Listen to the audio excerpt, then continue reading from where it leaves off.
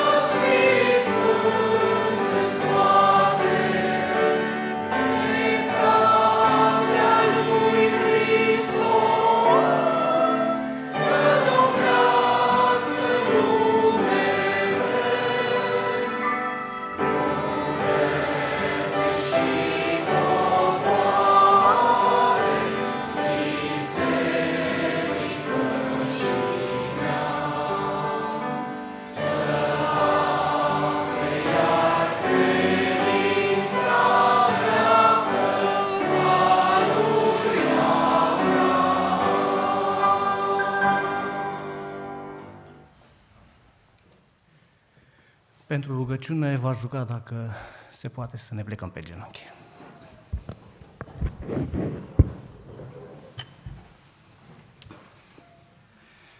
Părintele nostru, care tronezi la înălțimea cerului, venim plecați în umiliunță la picioarele tale în momentele acestea, să-ți mulțumim pentru aceste clipe deosebite de har pe care le petrecem aici în locul acesta.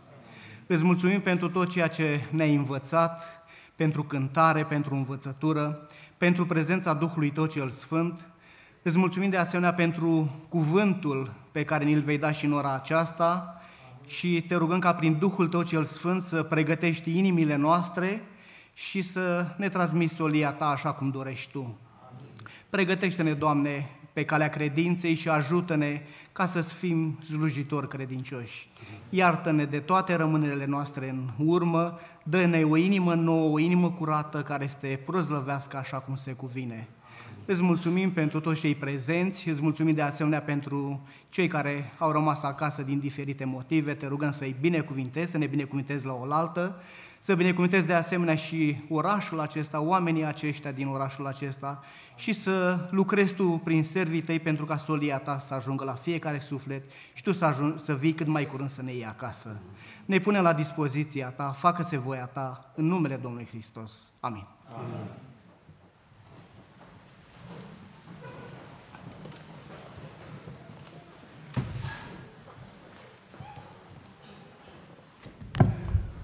Dragii mei, scump frați, stimate surori, dragi copilași, uh, este frumos, am văzut atunci când îl lăudăm pe Dumnezeu prin, uh, prin cântare și m-am uitat puțin la ceas și să știți că mai este timp, este timp pentru încă o cântare. Chiar aș dori să mai intonăm o cântare pe care vreau să o propună cineva dintre, dintre dumneavoastră. Pentru, pentru a ne pregăti și mai bine inimile, pentru cuvântul lui Dumnezeu, haideți să mai intonăm o cântare, să lăudăm pe Domnul. Cine dorește să propună? Ce fericire am pe Iisus! Ce fericire am pe Iisus!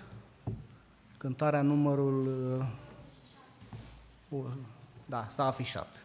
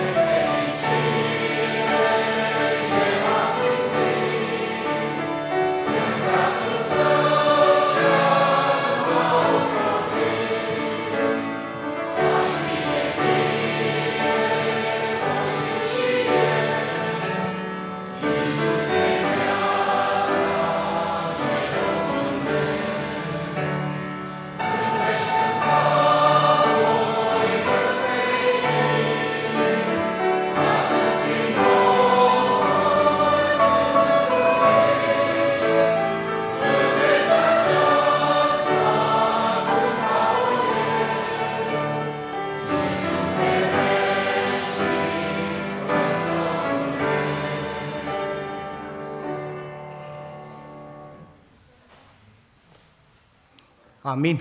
O cântare deosebită.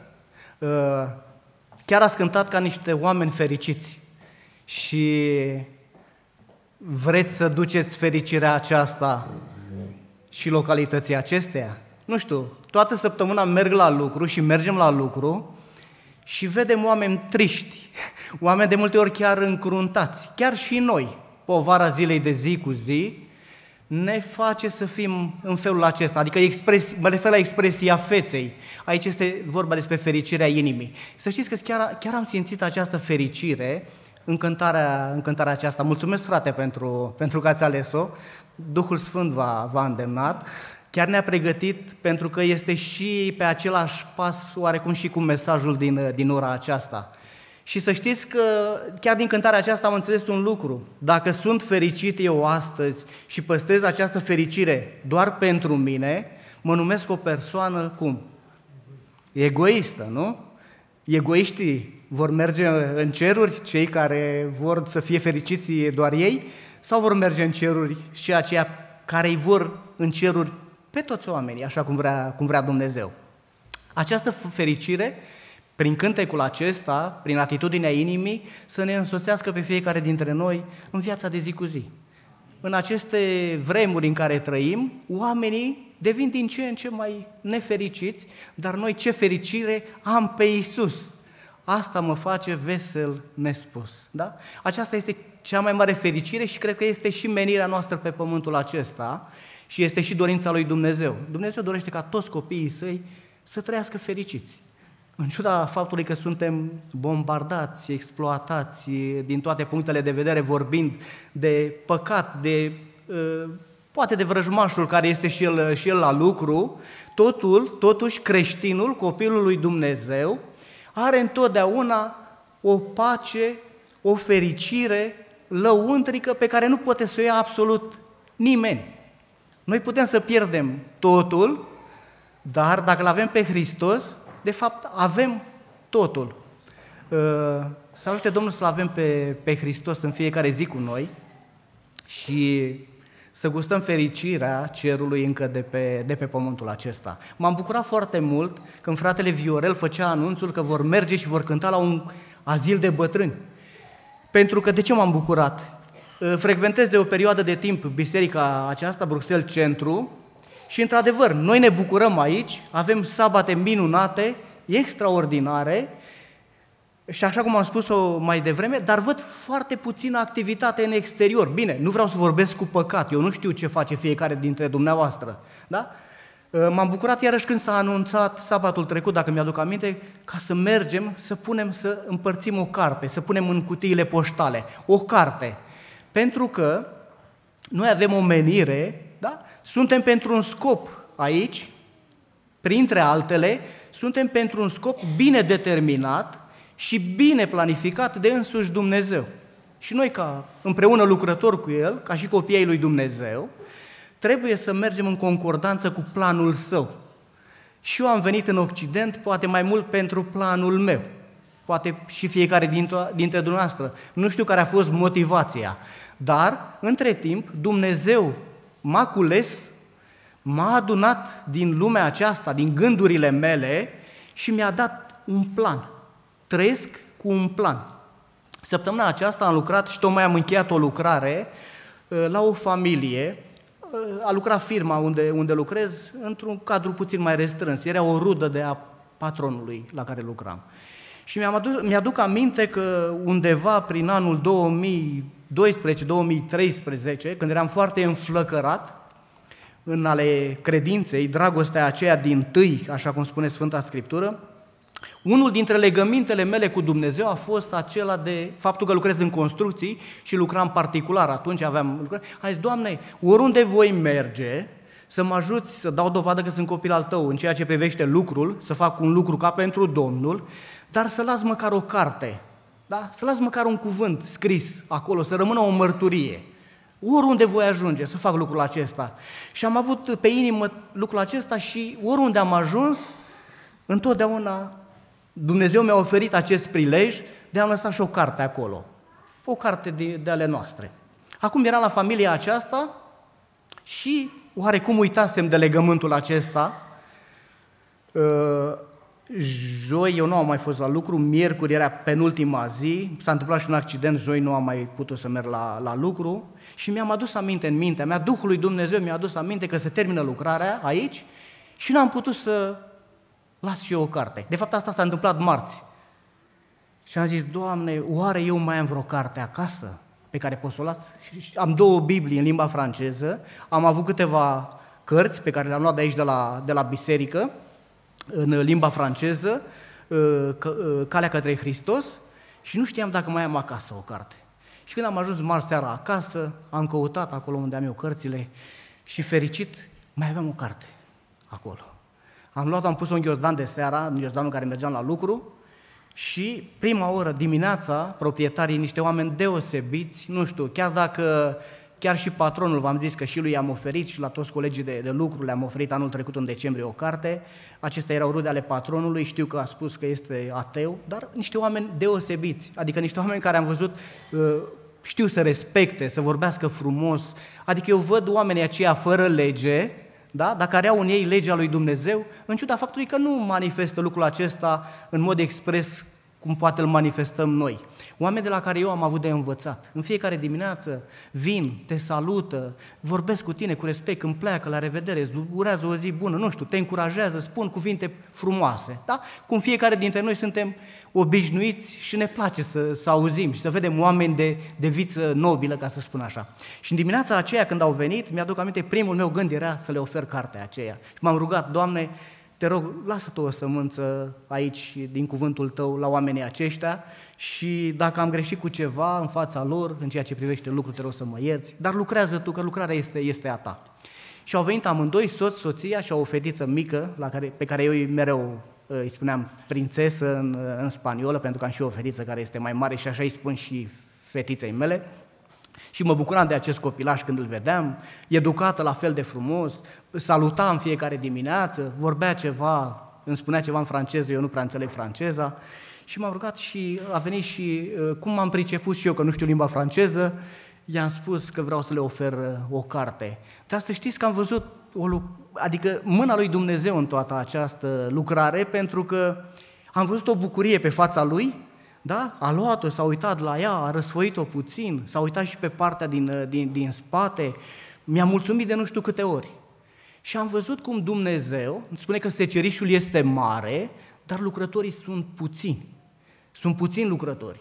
Și ce se întâmpla dacă eu plecam, pentru că joi n-am mai fost acolo, da, am avut un accident, sunt în concediu medical în momentul acesta, uh, dacă eu uh, amânam poate pentru următoarea zi și nu spicuiam exact momentul acela în care Duhul lui Dumnezeu mi-a adus aminte, plecam de acolo și nu știu dacă mai ajungea altcineva. Acum eu nu știu, mă rog din toată inima ca Domnul să lucreze, să citească cartea, să-L cunoască pe, pe Iisus Hristos, pe Mântuitorul nostru al tuturor și să ne vedem și în ceruri. Da? Aceasta este dorința lui Dumnezeu. Da, eu nu știu lucrul acesta, ce se va întâmpla mai, mai, mai departe, nu știu dacă va mai ajunge altcineva, dar oamenii din orașul acesta, din țara aceasta, au nevoie de Isus Hristos. Noi avem nevoie de Isus Hristos. Și noi nu suntem doar o biserică între celelalte biserici. Biserica Adventistă este, v-am mai spus și cu altă ocazie, mai mult decât o biserică, este o mișcare. Se pare că stăm puțin zlăbuți la capitolul acesta. Am ascultat pe fratele Lucian Cristescu despre o statistică care s-a făcut undeva în Statele Unite și spunea ceva de genul acesta. S-a făcut o statistică la vreo 10 biserici catolică, ortodoxă, pentecostală, baptistă, adventistă, martorea lui Jehova și toate celelalte. Și la capitolul misiune, Biserica Adventistă, ultimul loc, pe locul întâi de la coadă. Da? Deci noi suntem cap de la coadă, da? Nu suntem cap, suntem coadă în momentul acesta, potrivit statisticii.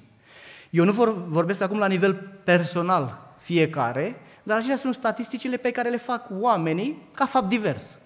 Și se pare că trăim într-un Babilon, așa cum trăia uh, uh, Daniel, um, uh, Abednego, Bine, erau numele care li s-a dat, Mișael și ceilalți robi care au fost luați, în care babilonienii încercau să le șteargă identitatea.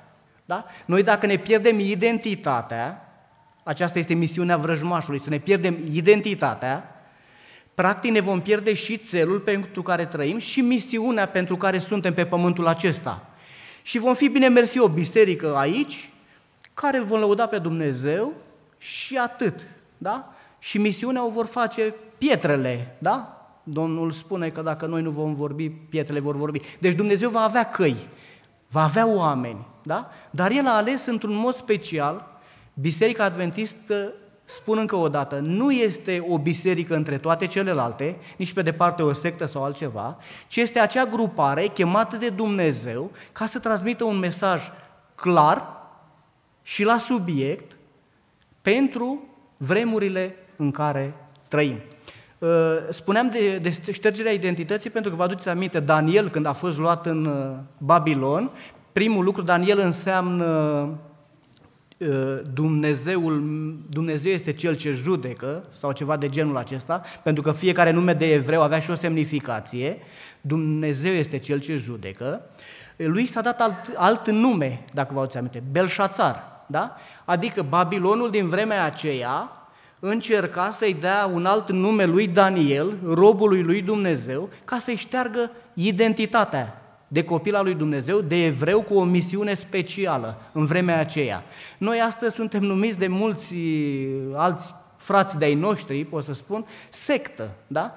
Ca să ne ca oarecum să ne uităm, oarecum, oarecum să ne uităm identitatea. Nu este vina lor da? Nu trebuie să dăm vina pe, pe, pe oameni, ci este o, o lucrare pe care o are uh, arhivrăjmașul sau vrăjmașul uh, nostru, vrăjmașul lui, lui Dumnezeu și care vrea să ne oprească oarecum de la mesajul pe care îl avem de, de, de transmis. Dar nu va reuși datorită la ceea ce Dumnezeu a descoperit. Am adus astăzi cu mine pentru că vreau să vorbesc uh, cât mai puțin, cu toate că deja am început să, să vorbesc. Cartea aceasta, Tragedia veacurilor, este în format de lux face parte din cele cinci cărți care se numesc Marea Luptă. Da? Știți că Marea Luptă, la un moment dat, cartea aceasta se numea ea Marea Luptă, dar Marea Luptă este formată din cinci exemplare. Patriarhi și profeți, profeți și regi, uh, viața lui Isus, faptele apostolilor și tragedia veacurilor.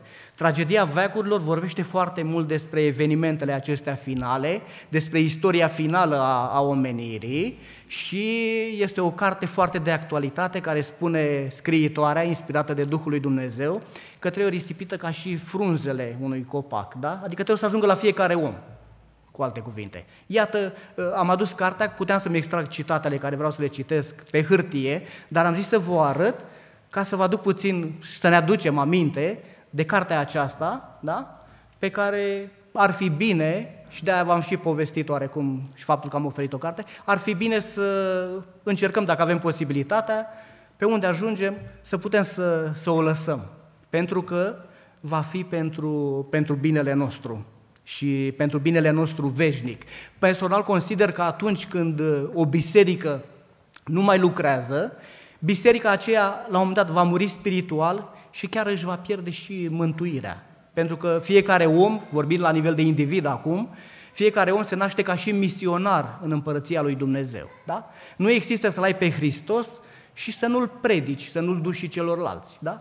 Există ori să nu-L ai, da? și trebuie să-L primești, să mergi împreună cu El, ori să-L ai și să arzi de nerăbdare ca să-L prezinți și altora, ca să cânte cu toții acea cântare frumoasă pe care a propus-o fratele. Ce fericire am pe Isus. Uh, vă rog să deschidem uh, Cuvântul lui Dumnezeu pentru astăzi în Apocalips, capitolul 18. Este un mesaj pe care, nu știu, poate am vrut puțin să-l ocolesc, dar întotdeauna la fel. Îmi venea în minte că trebuie, trebuie adus înaintea, înaintea noastră, înaintea mea și înaintea, înaintea dumneavoastră. Apocalips 18, începând de la, de la versetul 1. După aceea am văzut coborându-se din cer un alt înger care avea o mare putere și pământul s-a luminat de slava lui. El a strigat cu glas tare și a zis, a căzut, a căzut Babilonul cel mare, a ajuns un locaș al dracilor, o închisoare a oricărui duh necurat, o închisoare a oricărei păsări necurate și urâte. Versetul 4, apoi am auzit din cer un alt glas care zicea, ieșiți din mijlocul ei, poporul meu, ca să nu fiți părtași la păcatele ei și să nu fiți loviți cu urgiile ei, pentru că păcatele ei s-au îngrămădit și au ajuns până în cer. Și Dumnezeu și-a adus aminte de nelegiuirile ei. Acesta este pasajul pe care, despre care vom vorbi în, în ora aceasta. Uh, se repetă din nou avertizarea căderii Babilonului. Acea avertizare din uh, Apocalips 14. Acest înger, da, uh, vine și repetă, repetă aceea solie. A căzut, a căzut Babilonul. Ce știm noi din Sfânta Scriptură când Dumnezeu spune de două ori același lucru? Haideți să ne gândim la visele lui Faraon și când Iosif îi tâlmăcea. Ce știm când de două ori se repetă același mesaj? E un lucru sigur. Da? Mulțumesc, așa este. Este un lucru hotărât de Dumnezeu, lucrul acesta, da? Adică e un lucru sigur. Cu atât mai mult se amplifică solia aici, el a strigat cu glas tare și a zis, a căzut Babilonul cel mare, a ajuns un locaș al demonilor. Da? Ă, demonii se mai pot ă, întoarce la Dumnezeu, se mai pot pocăi. Ă, de aceea este folosită ilustrația aceasta. Să știți că aici este vorba despre oameni care s-au împietrit atât de tare în ceea ce privește adevărul lui Dumnezeu, încât pur și simplu Dumnezeu nu poate nu poate să-i mai scoată din mentalitatea aceea, da, să spun, din învățătura aceea, din modul acela de a trăi. Și vreau, vreau să dau citire uh, din această carte, de aceea am și deschis-o, uh, să vedem ce ne spune scriitoarea Ellen White, inspirată despre, despre uh, versetele acestea. Acest pașaj din Scriptură face referire la un moment din viitor când urmează să fie repetat mesajul privind căderea Babilonului, transmis de al doilea înger din Apocalips 14 cu 8, menționându-se în plus, în plus, da, corupția care a intrat în diferitele organizații ce constituie Babilonul după ce mesajul a fost proclamat inițial în vara anului 1844. Aici este descrisă situația dezastruoasă din lumea religioasă. Cu fiecare ocazie de respingere a adevărului, mintea oamenilor devine întunecată, inima lor mai refractară, până se închid în împietrire și necredință. Svidând avertizmentele trimise de Dumnezeu, oamenii vor continua să calce în picioare una dintre poruncile decalogului până când vor ajunge să-i persecute pe cei care o consideră sfântă.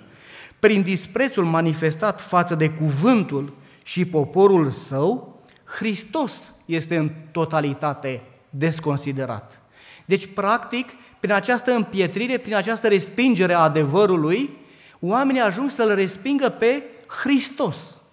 Și nu mai poți să mai cânți ce fericire am pe Isus când respingi adevărul său descoperit, care este pentru salvarea sufletului uh, tău.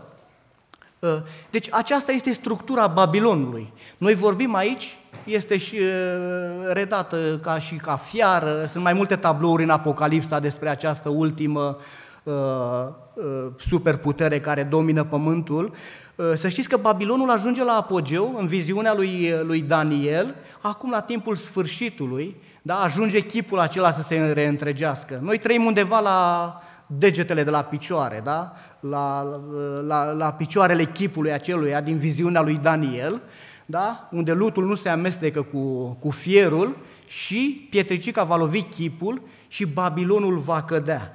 Uh, chiar lucrul acesta uh, spune în versetul 20 din Apocalips 18 un mesaj pentru cei credincioși, bucură-te de ea cerule, bucurați-vă și voi sfinților, apostolilor și prorocilor, pentru că Dumnezeu v-a făcut dreptate și a judecat-o.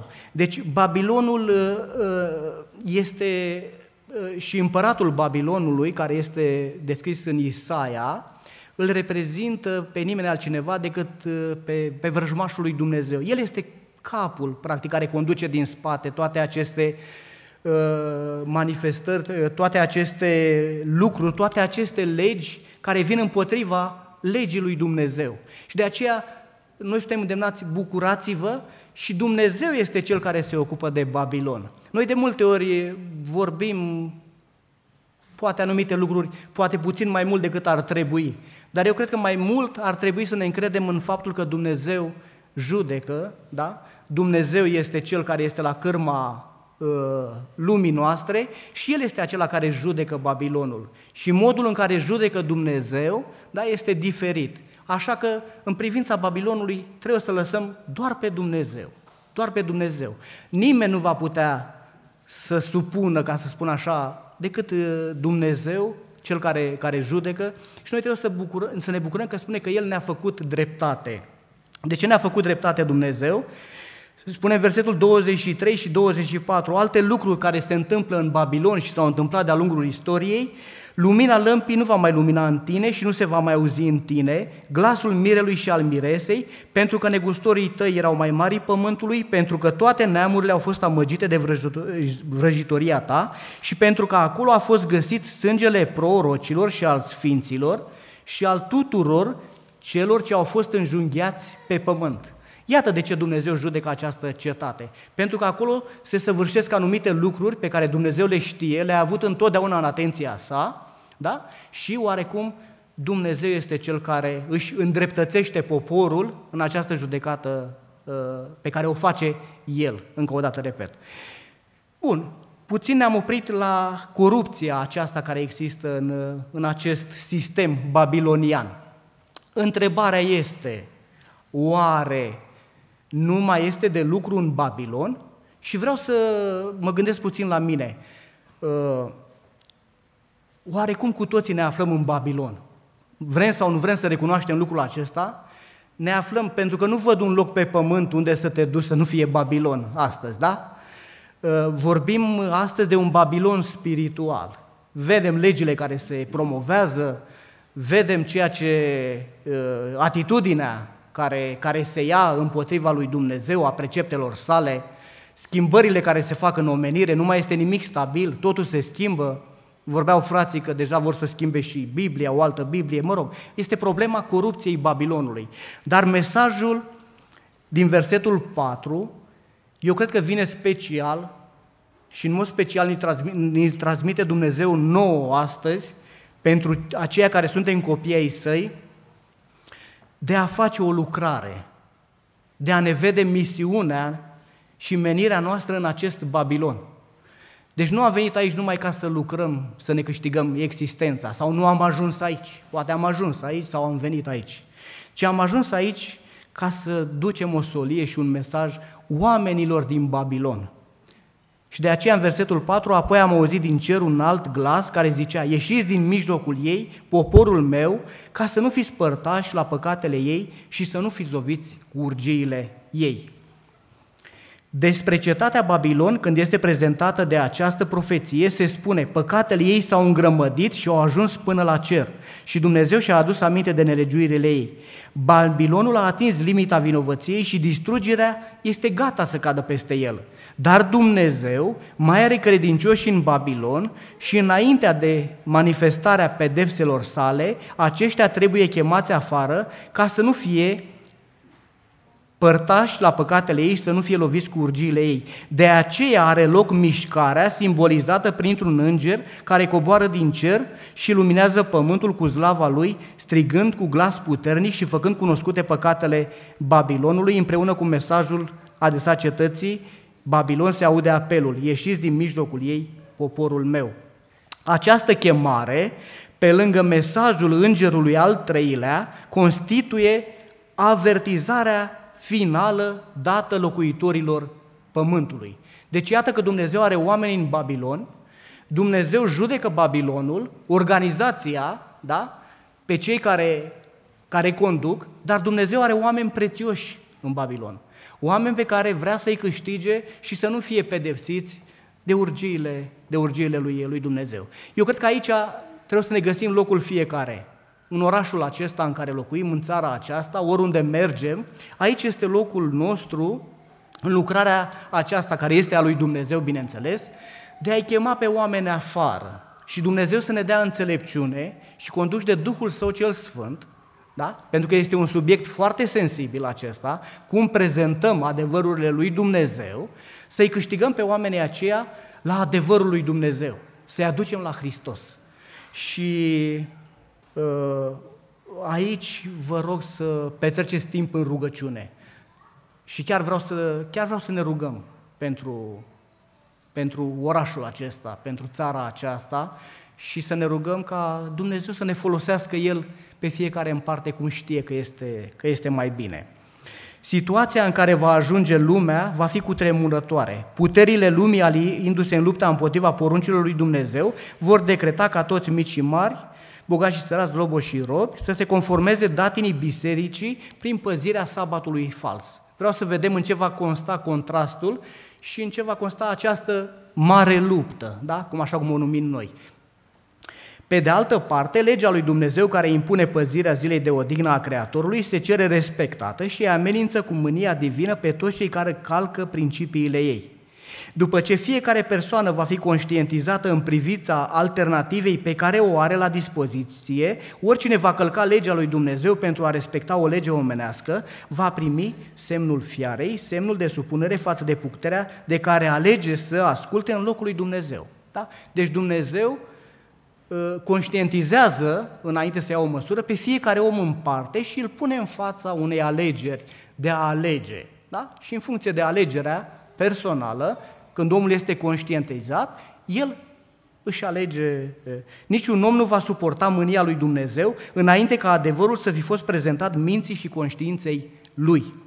Sabatul va constitui marele test al loialității, deoarece el este partea de adevăr în mod deosebit combătută. Când oamenii vor fi supuși încercării finale, atunci va fi trasă linia de demarcație între cei care îi slujesc lui Dumnezeu și cei care nu îi slujesc lui Dumnezeu. Și Maliah vorbește despre timpurile acestea, în capitolul 4, timpul ne presează, vă readuc doar aminte, atunci se va vedea deosebirea între cei ce îi slujesc lui Dumnezeu și cei ce nu îi slujesc lui Dumnezeu.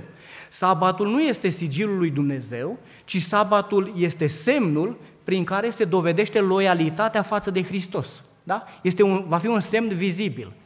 Și cealaltă zi, în momentul în care oamenii vor lua la cunoștință adevărului Dumnezeu, dacă se vor încăpățâna, vor primi semnul fiarei. De semnul fiarei nu este un vaccin sau alte povești care au existat, da? În, și există, da? Tot felul de teorii ale conspirației. Aici este vorba despre închinare și despre închinarea la Creator, da? În ziua de odihnă care El a ales-o, sabatul, sau închinarea la o instituție omenească, da? închinându-te într-un, într-un sabat fals. Dar nimeni nu a primit semnul fiarei. Semnul fiarei va fi primit în momentul în care se va da legea duminicală, atunci va fi căderea, cum spune îngerul din Apocalipsa, Babilonul va cădea ca o piatră. Spune că un înger ia o piatră și o aruncă în mare și așa va fi căderea Babilonului. Legea duminicală va fi apogeul căderii Babilonului. Da? Noi încă trăim în această perioadă în care solia lui Dumnezeu trebuie să ajungă la fiecare suflet, acolo unde suntem fiecare dintre noi. Și să prezentăm aceste adevăruri, da? așa cum știm, sau să lăsăm o carte, nu știu, fiecare să se roage la Dumnezeu. Eu nu am venit cu soluții, da? Dumnezeu este soluția în momentele acestea. Dar să nu ne pierdem menirea și identitatea de copii ai lui Dumnezeu, cum Babilonul din străvechi încerca să le piardă identitatea evreilor din vremea aceea.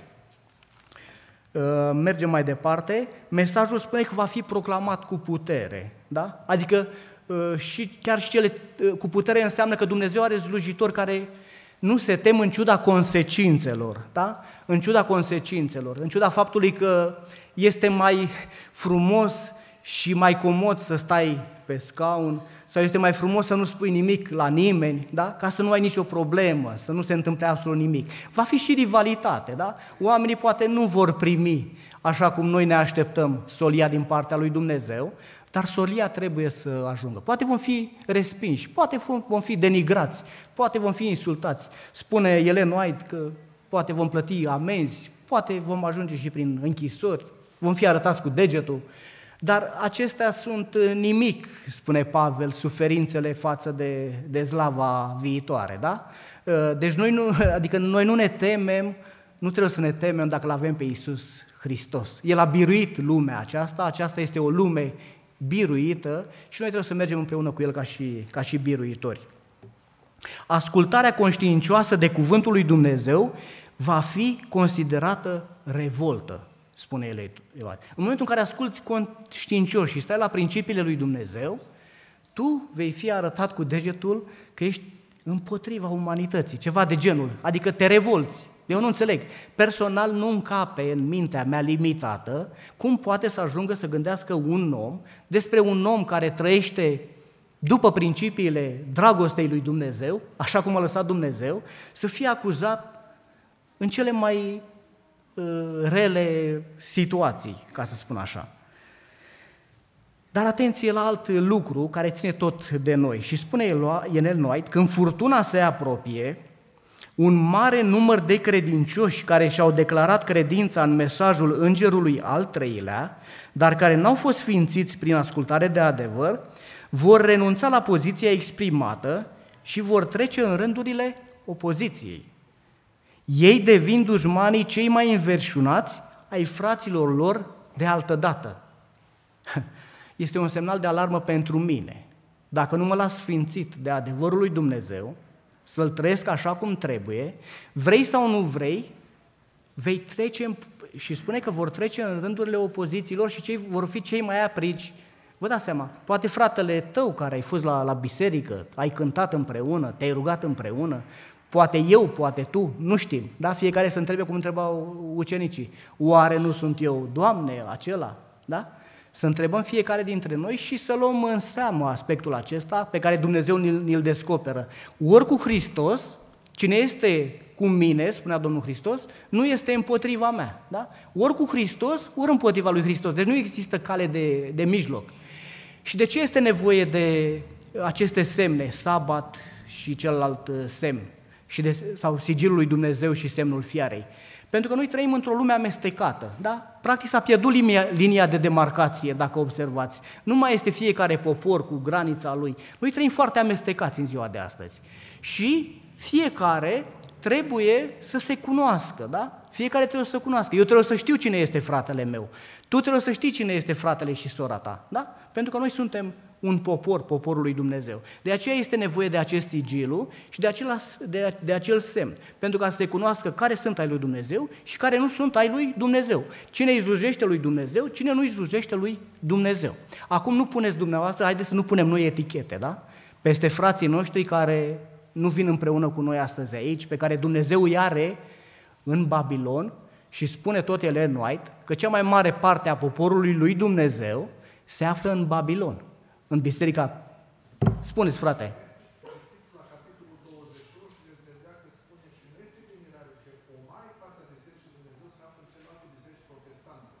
Da, deci o mare parte, a, exact, în celelalte biserici protestante, deci nu trebuie să punem noi eticheta după denominațiunea religioasă. Pentru că sunt și de aici, da, nu să dea Domnul să fie, din Biserica Adventistă care nu sunt ai lui Hristos, da? care sunt din Babilon. Și vedem curente, vedem frații noștri, uh, poziția bisericii față de LGTB, care este clară, că Dumnezeu nu acceptă așa ceva în poporul său, da? Dar există oameni care au, luat pe, au luat-o pe, pe calea aceasta babiloniană, ca să o spunem așa, da? Uh, Dumnezeu trage bine linia de demarcație, da? Sabatul va fi centru pentru că aici se va da disputa. M-a surprins un lucru faptul că am ascultat o înregistrare, nu știu cât de reală e, cum uh, uh,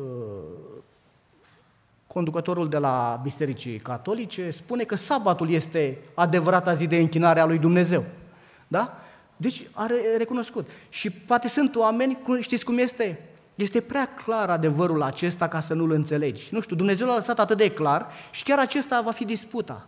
Da, păi chiar dacă Dumnezeu ți-a lăsat atât de clar da, lucrul acesta, ce te oprește să-L urmezi? Da? Ce te oprește? Care este uh, miza aici? Da? Nu știu, nu știu, nu, nu, nu, nu, nu, nu pot să, să înțeleg.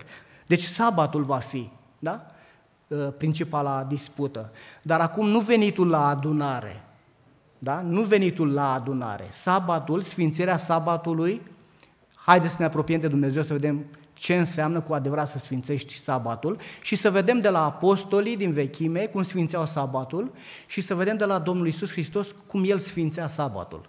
Deci sabatul se sfințește, da? Este o zi sfântă, da? Și Dumnezeu ne cheamă la sfințirea sabatului, da? Să fim păzitori, să sfințim această zi, care este pusă deoparte și este semnul prin care se va face deosebirea.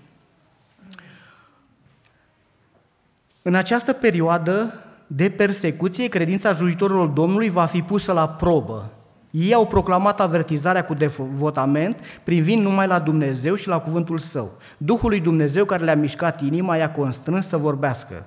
Stimulați de un avânt sfânt și de un puternic impuls divin și au împlinit misiunea fără să calculeze rațional consecințele prezentării cuvântului, dat de Domnul. Ei n-au ținut cont de interesele pământești, nici n-au căutat să-și conserve bunul nume sau viața. Da? Deci aici se arată cât de amplă este lucrarea, că nu are nimic omenesc, nu, nu există nimic omenesc în lucrarea lui Dumnezeu. Da? Aici nu se urmăresc interesele unei biserici, da? unui om, ci pur și simplu este lucrarea lui Dumnezeu de salvare de de suflete. Persecuția în diferitele ei forme reprezintă manifestarea unui principiu care va exista cât timp va exista satana și cât timp creștinismul va avea viață. Da? Atâta timp cât ești al lui Hristos, cine vrea să trăiască cu evlavie pentru Hristos va fi prigonit. Dar Dumnezeu va da putere. Da, acestea sunt fleacuri. Da? Nimeni nu trebuie să se sperie, pentru că Dumnezeu va da putere slujitorilor săi și acestea sunt nimicuri față de uh, marea promisiune și marea făgăduință a lui, a lui Dumnezeu. Îngerul care se unește cu îngerul al treilea în proclamarea mesajului lui va lumina tot pământul cu slava lui. În acest context este prezisă o acțiune mondială care se va desfășura cu o putere neobișnuită. Mișcarea adventistă din 1840-1844 a fost o manifestare glorioasă a puterii lui Dumnezeu. Mesajul primului înger a fost dus în toate centrele misionare din lume, iar în unele țări s-a manifestat un interes religios amplu, cum nu s-a mai întâlnit de la reforma din secolul al XVI-lea. Dar acel curent va fi depășit de puternica mișcare din timpul ultimei avertizări a îngerului al treilea. Vă dați seama, aici este mâna lui Dumnezeu. Da? Deci, nu știu cum se va întâmpla, nu știe nimeni cum se va întâmpla, dar Dumnezeu este, este la lucru, Dumnezeu uh, alege oamenii care vor proclama Evanghelia cu o putere neobișnuită, da? puterea Duhului Sfânt. Manifestarea va semăna cu cea din ziua cinzecimii. După cum ploaia timpurie a fost dată prin revărsarea Duhului Sfânt la începutul predicării Evangheliei, pentru a face să răsară prețioasa sămânță, tot așa ploaia târzie va fi dată la încheierea lucrării pentru coacerea recoltei. În zilele de pe urmă, zice Dumnezeu, voi turna Duhul meu peste orice făptură, deci peste orice făptură. Asta înseamnă că lucrarea este a Duhului Sfânt. Da? El va turna, Dumnezeu va turna Duhul Său. Marea lucrare a Evangheliei nu se va încheia cu o manifestare mai mică a puterii lui Dumnezeu decât cea care i-a marcat începutul.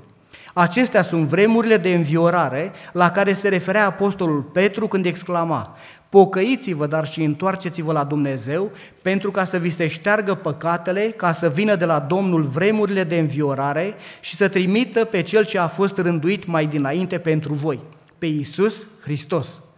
Mesajul va fi transmis nu atât de mult prin argumente, cât prin convingerea profundă produsă de Duhul lui Dumnezeu. Argumentele au fost prezentate, sămânța a fost semănată, iar acum va răsări și va aduce rod.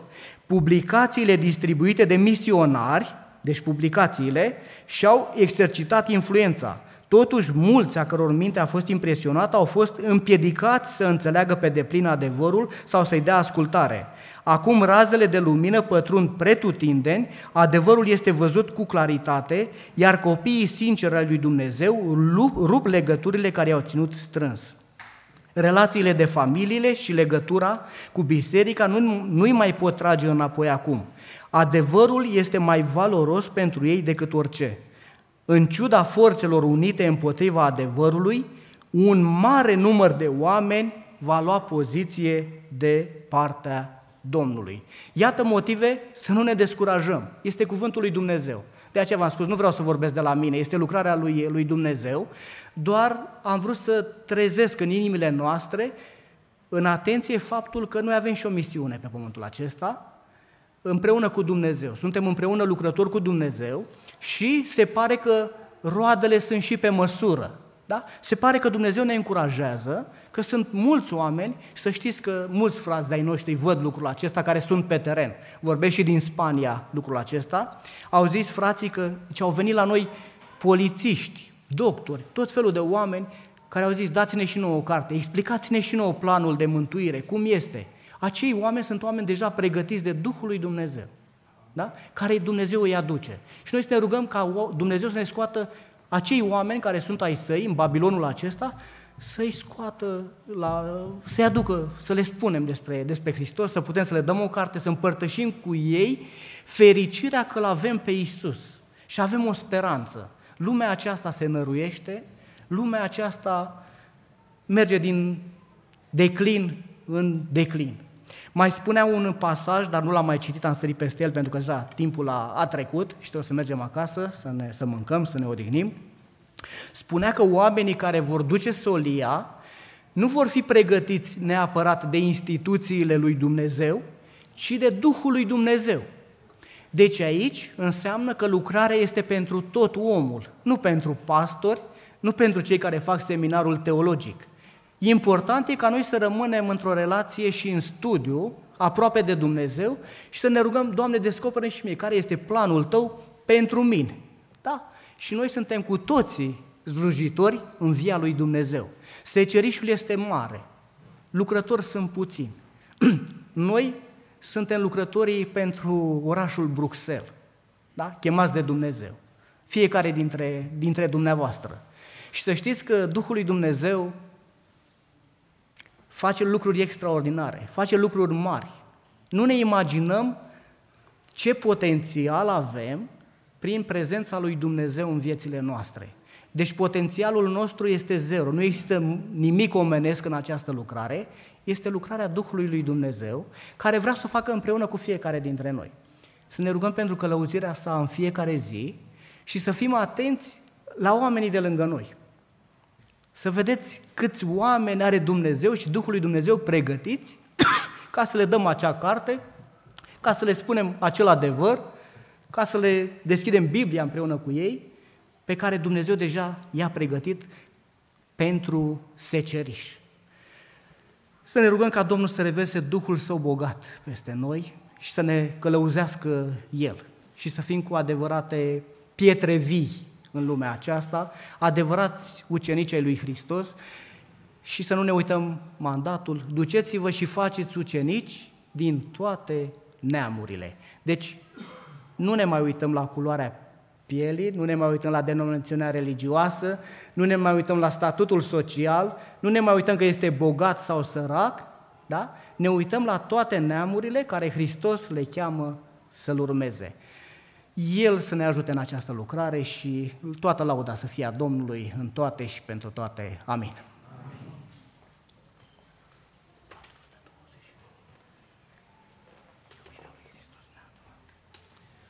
În numele Domnului Iisus Hristos închidem serviciul divin cu imnul 429. Iubirea lui Hristos ne-a adunat.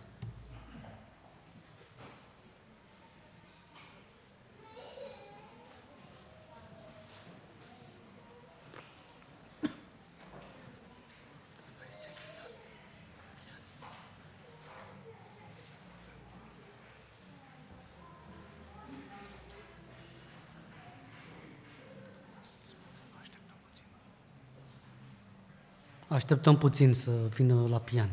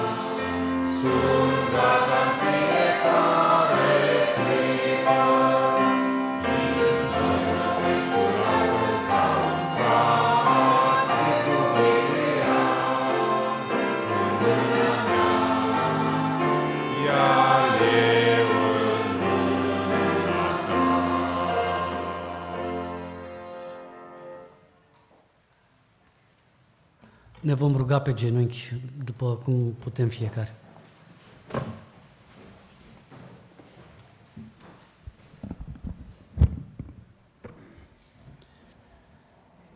Părinte bun și din ceruri, care vii în fiecare din sufletele noastre, îți mulțumim că Tu ne mângâi sufletul, îți mulțumim că Tu ne dai viață și sănătate și îți mulțumim că Te îngrijești și de viața copilașilor noștri.